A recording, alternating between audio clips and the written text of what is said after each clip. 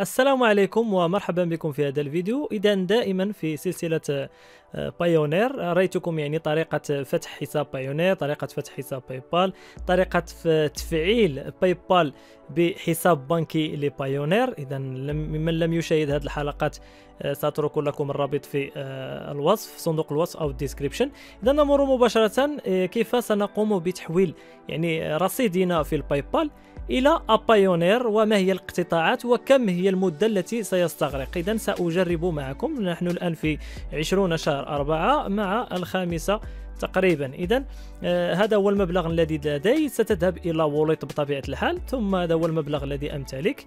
وهنا سنضغط على transfer funds ثم هنا transfer to your bank طبيعة الحال هذا هو البنك الذي قمت بربطه في الفيديو السابق.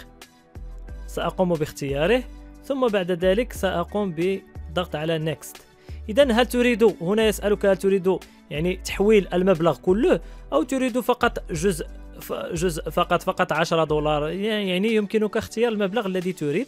أنا سأقوم بتحويل الرصيد كاملا ثم سأضغط على next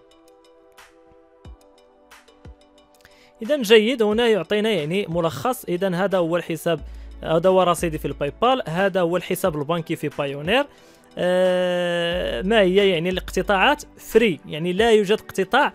باي بال سيرسل المال بدون اقتطاع.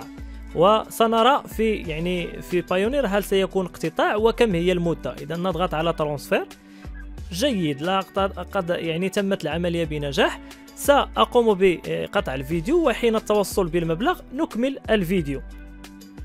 إذا كما تلاحظون أقل من 24 ساعة توصلت بالمبلغ في بايونير. وإذا قمنا بالنزول هنا وقمنا بالضغط على يعني ال transaction سيقول لنا يعني بايونير ليس باي بال فإنها بايونير شركة بايونير اقتطعت واحد في المئة.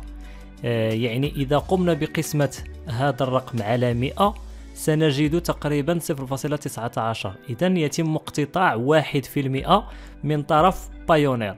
إذا هذا كل ما في الأمر بالنسبة لهذا الفيديو. في الفيديو المقبل إن شاء الله سأريكم يعني طريقة سحب سحب هذا المال هذا سحبه إلى آه، حسابك البنكي في بلدك.